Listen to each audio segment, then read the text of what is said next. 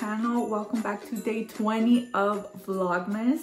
Today's episode i am just going to update my calendar. I have some orders to pull and i just want to briefly talk about my goals for 2022 i'm not gonna lie i am starting to lose steam. I can't believe i'm on day 20 of vlogmas.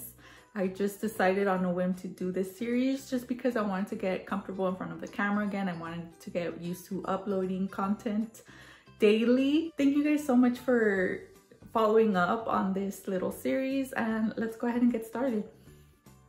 So I thought I'd give you a little tour of this spare bedroom that I've been using to photograph and you know I do keep some inventory in here. Actually I have an order to pull down here. I have some some my free people stuff. So I do have one of ooh yeah one of my shirts is down here that's sold. So I did sell one of these free people shirts. Oh my god. There should be a small somewhere in here. What?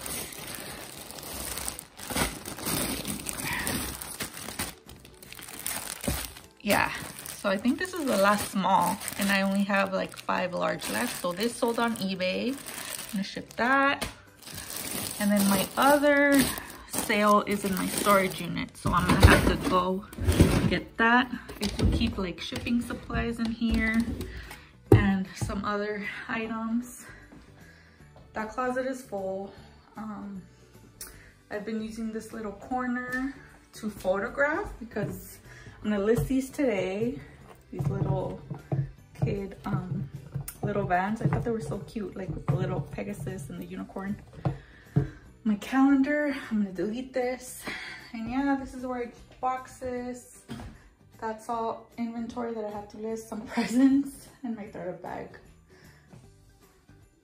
So I do want to keep this room as clean as possible. It's really messy right now and it used to be even more messy because we actually use this room for guests like when my grandma comes to stay with us. So she might be coming after the holidays. So i i don't want to you know have the room be so messy that she can't stay here. You know i have to clear all of this stuff off the bed. Obviously i'm gonna move my boxes and um her stuff is in the closet and that other chest of drawers. So um i'm trying to keep this room clean which is why i have my storage unit and like nothing fits in my room. So and that's it. I don't keep my reselling stuff anywhere else in my parents' house. So for now, it'll just do and we'll see what 2022 brings. Like if I end up moving or I don't know, we'll see. You'll have to stay tuned and see where I end up in 2022.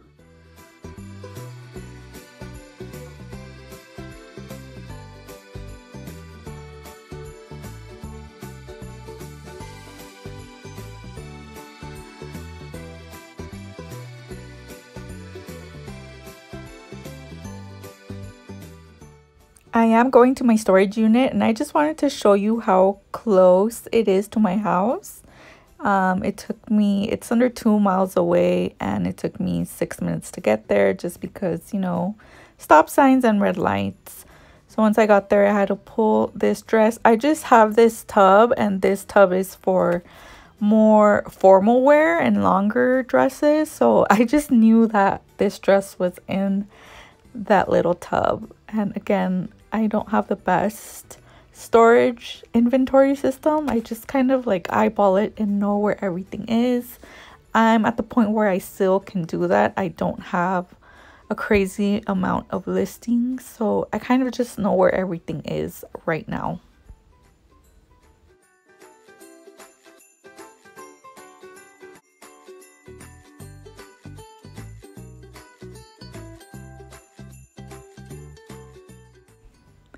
And I'm back home and altogether it took me under 20 minutes to go to my storage unit and get this dress.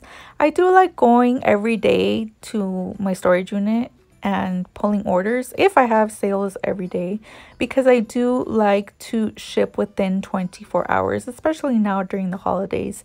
Even though nobody has actually reached out to rush me on shipping, I just do it as a courtesy. So I'm using this 14 by 20 poly mailer for this dress because it is um, a larger dress. I didn't want to fold it too much in half. And it's under 16 ounces, so it can ship first class. So I do have some larger poly mailers for this size, which I got on Amazon. And I'll be able to ship it first class Using Pirate Ship, I think I do have free shipping attached to my Etsy orders, so it won't be a problem. As long as they're under a pound, I don't mind paying up for shipping.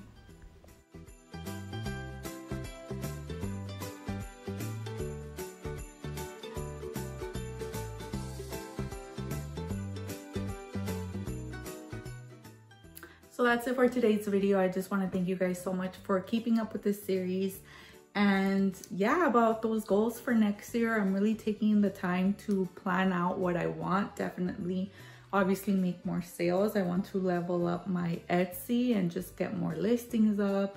I'm also thinking about upgrading to an ebay store but just definitely being more concrete about my goals. So i'm definitely setting a goal for 2022 because i feel a way that I hold myself back is just by saying that I'm a part-time reseller and you know I do this for fun and I have a full-time job and I don't really need the money that I make reselling. It's just money that goes into a savings account because you know my salary I'm just at the place now where my, like my salary provides me with a livable wage and good benefits.